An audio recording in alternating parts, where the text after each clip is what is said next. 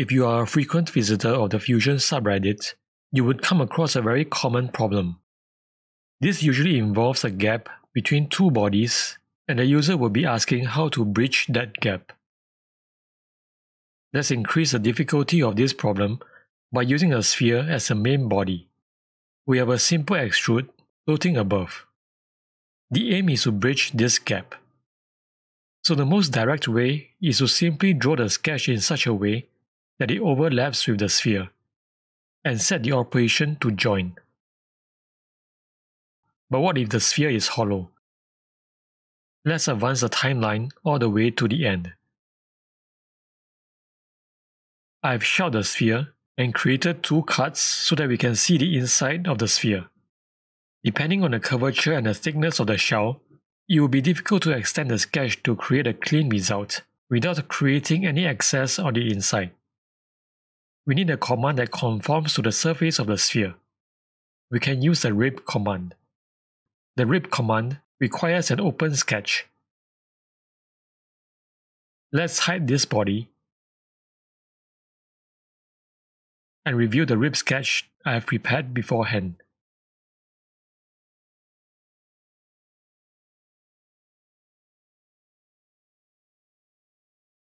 Go to Create, Rib.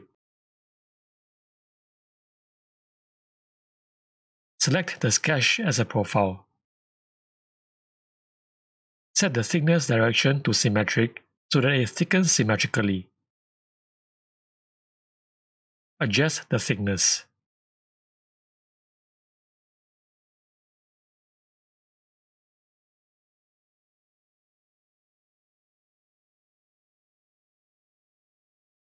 The rib conforms to the surface of the sphere without creating excess on the inside.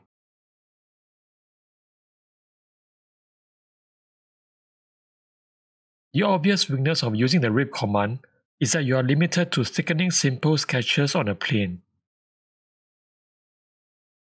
Let's delete the rib. What if we need a more complex protrusion coming out of the sphere? Let's go ahead and review this complex body. This was created from a loft of a 3D curve. You will not be able to do this with the rib command. It might be possible to adjust the profile such that it is within the shell's thickness, but that will be difficult. We can also simply loft from the inside of the sphere and then cut out the excess. But let's take a look at a few alternatives on how to bridge this gap. We have a flat face here. Select this face and begin the extrude command.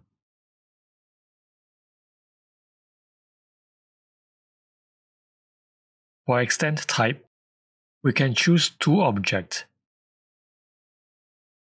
By selecting the face of the sphere, we are telling the extrude to terminate up against the sphere.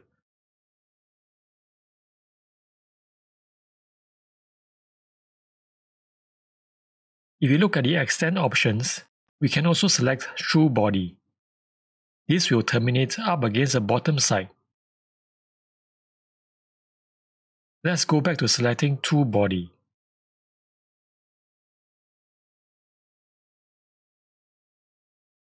But there is a limitation with extrude. It extends material in a way that is normal to the selected profile. So these walls here are perpendicular to the profile. Ideally, we want these walls to be a natural extension of the original lofted walls. Let's delete the extrude.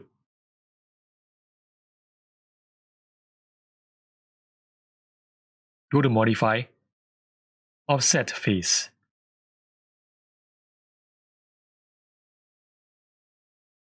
Select the end face. As we adjust the distance, notice how the side walls extend naturally.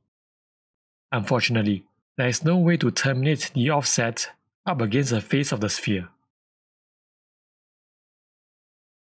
Selecting the face of the sphere does not work. You can of course adjust the offset to the inside of the sphere and then cut out the excess. But let's take a look at another way.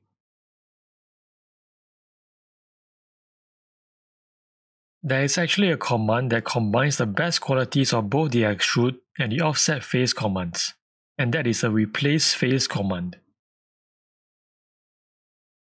Go to Modify, Replace Face.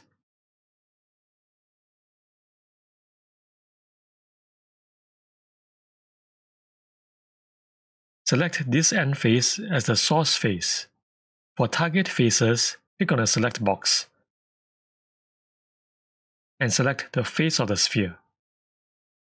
The walls of the original loft have been extended naturally to the face of the sphere. In a sense, we have replaced the end face of the loft with the face of the sphere. The replace face command does not join the bodies together, so you do need to combine them.